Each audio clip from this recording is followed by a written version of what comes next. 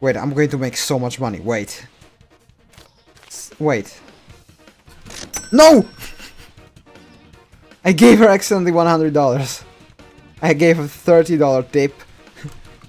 Even though she didn't do anything.